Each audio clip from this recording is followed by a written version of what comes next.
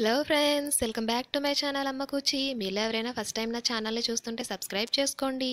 అలానే నేను అప్లోడ్ చేసే కొత్త కొత్త వీడియోస్ మీకు నోటిఫికేషన్ రావాలంటే పక్కనే ఉన్న బెల్ ఐకాన్ని కూడా క్లిక్ చేసేయండి. సో మనం ఈరోజు మా ఇంట్లో కందిపొడి ఎలా చేస్తారు? ఈ ఎన్ని రకాలుగా యూస్ చేసుకోవచ్చు ఈ కందిపొడాన్ని డిఫరెంట్ డిఫరెంట్ డిషెస్లో అనేది చూసేద్దాం. సో లెట్స్ గో సో చూస్తున్నారు కదా నేను కందిపప్పుని ఒక చిన్న కప్ యాడ్ చేశానండి. లో ఫ్లేమ్లో పెట్టుకొని మనకి కలర్ చేంజ్ అయ్యే వరకు కూడా మంచిగా ఫ్రై చేసుకోండి. అయితే లో ఫ్లేమ్లో పెట్టుకొని మీరు ఎంత మంచిగా ఫ్రై చేస్తే మీకు కందిపప్పు అనేది అంత పఫీగా మీకు ఫ్రై అవుతుంది. సో టేస్ట్ అనేది కూడా చాలా బాగుంటుంది. సో చూస్తున్నారు కదా మన కందిపప్పు అనేది బాగా ఫ్రై అయిపోయిందండి. మనం దీన్ని ఒక ప్లేట్లోకి షిఫ్ట్ చేసేసుకుందాం. ఇంకా అలానే నేను ఒక హాఫ్ కప్ వరకు పెసరపప్పుని కూడా యాడ్ చేశాను. మనం దీన్ని కూడా సేమ్ యాజ్ టీస్లో ఫ్లేమ్లో ఫ్రై చేసుకుందాం. ఇంకా అలానే నేను ఒక స్పూన్ వరకు మిరియాలను యాడ్ చేశాను. ఒక స్పూన్ ధనియాలను కూడా యాడ్ చేశాను. ఒక టూ స్పూన్స్ వరకు జీలకర్రను కూడా యాడ్ చేస్తున్నాను. సో చూస్తున్నారు కదా లో ఫ్లేమ్లోనే బాగా ఫ్రై చేసుకోండి. ఇంకా అలానే స్టవ్ ఆఫ్ చేసి నేను ఎండుమిర్చి ఇంకా అలానే వెల్లుల్లి కూడా యాడ్ చేశాను. మనకి స్టవ్ ఆఫ్ చేసిన తర్వాత యాడ్ చేసుకోండి. లేదంటే మీకు న్యాచురల్ టేస్ట్ అనేది పోయే ఛాన్సెస్ ఉంటాయి. ఇప్పుడు మనం ఫస్ట్ ఫ్రై సో మనం ఫస్ట్ ఫ్రై చేసి పెట్టుకున్న కందిపప్పు ఉంది కదా దాంట్లోకి మనం ఇప్పుడు ఫ్రై చేసుకొని పెట్టుకున్న ఇంగ్రీడియంట్స్ అన్నీ కూడా తీసేసుకుందాం. సో చూస్తున్నారు కదా ఇలా ఫైనల్గా నేనైతే ఇప్పుడు ఒక హాఫ్ కప్ వరకు పుట్నాల పప్పు అదేనండి మనం చట్నీస్ చేసుకుంటాం కదా ఆ పప్పు ఒక హాఫ్ కప్ యాడ్ చేస్తున్నాను.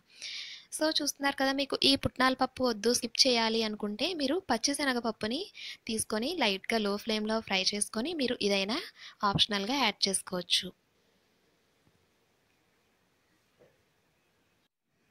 సో చూస్తున్నారు కదా ఇంగ్రీడియంట్స్ అన్నీ మనం మిక్సీ జార్లోకి తీసేసుకుందాం. నేను చిటికెడు పసుపు యాడ్ చేశాను ఇంకా అలానే చిటికెడు ఇంగువ కూడా యాడ్ చేశాను ఇంకా అలానే రుచికి సరిపడినంత నేను టూ స్పూన్స్ వరకు సాల్ట్ కూడా యాడ్ చేస్తున్నాను. సో మనం దీన్ని మెత్తగా పౌడర్ లాగా ప్రిపేర్ చేసేసుకుందాం. సో చూస్తున్నారు కదా ఒకసారి చెక్ చేసుకోండి. మెత్తగా అవ్వకపోతే మళ్ళీ ఇంకొకసారి గ్రైండ్ చేసుకోండి. సో చూస్తున్నారు కదా ఫైనల్గా మనకు కందిపొడం అనేది ప్రిపేర్ అయిపోయింది. సో మనం దీన్ని ఇడ్లీలోకి విత్ గీ యాడ్ చేసుకొని తింటే సూపర్ టేస్టీగా ఉంటుంది. ఇంకా అలానే మీరు దోశలోకి కూడా తినచ్చు. అలానే వేడివేడి రైస్లోకి గీ యాడ్ చేసుకొని తినచ్చు.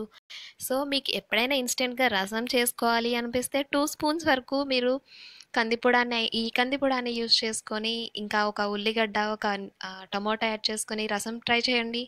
మీకు చాలా విధాలుగా ఈ కందిపొడం యూజ్ అవుతుంది. సో ట్రై చేయండి తప్పకుండా. సో నేనైతే ఈ కందిపూడానికి కాంబినేషన్గా నేను ఇడ్లీని కూడా ప్రిపేర్ చేసుకున్నా విత్ చట్నీ.